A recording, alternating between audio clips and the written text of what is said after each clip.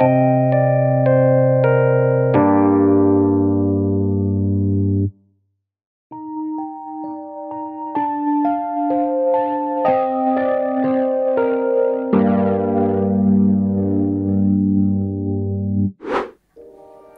so nice to see you again for my next tutorial. Today um, we're gonna talk about electric pianos. So there are a lot of uh, real electric pianos like the Fender Rhodes Mark 1, Mark 2, Wurlitzer or even different ones. And today I'm gonna show you how I built um, a Fender Rhodes Mark 1. The first one you heard um, is from Apple's Logic from Mainstage. Um, so I used it's this one.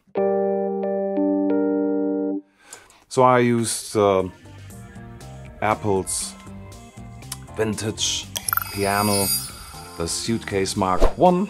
This is a preset you can find there. Um, nothing, nothing done on it.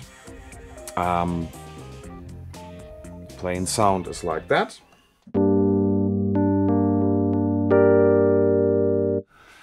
And I added um, a pedal board, Apple's pedal board effects to the insert effects. So it's on that one and I just added a retro chorus.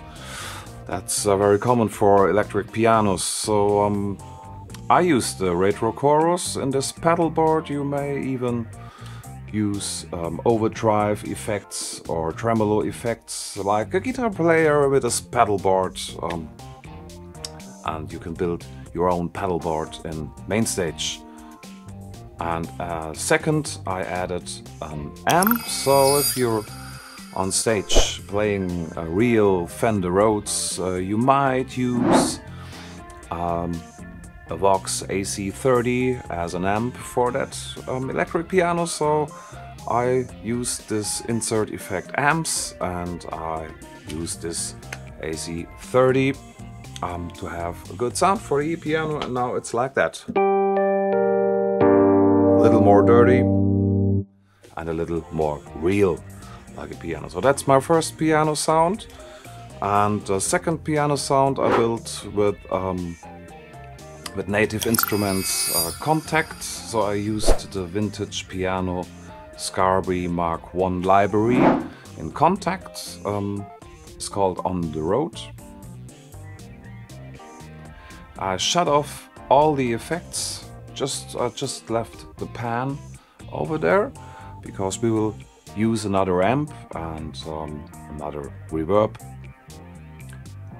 So that's it with the piano. Um, playing it sounds like that. And a little more dirty, I um, I used a guitar rig and added a Tweedman amplifier, um, some um, chorus ensemble and uh, spring reverb, just a bit of that and in the end a compressor.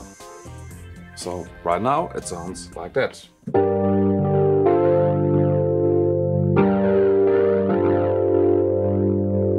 So very crispy.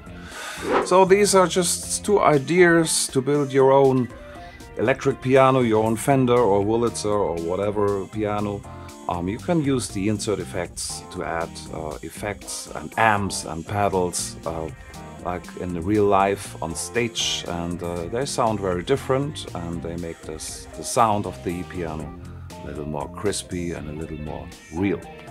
So that's it for today, TUI electric pianos. Um, have fun building your own and um, see you for the next tutorial.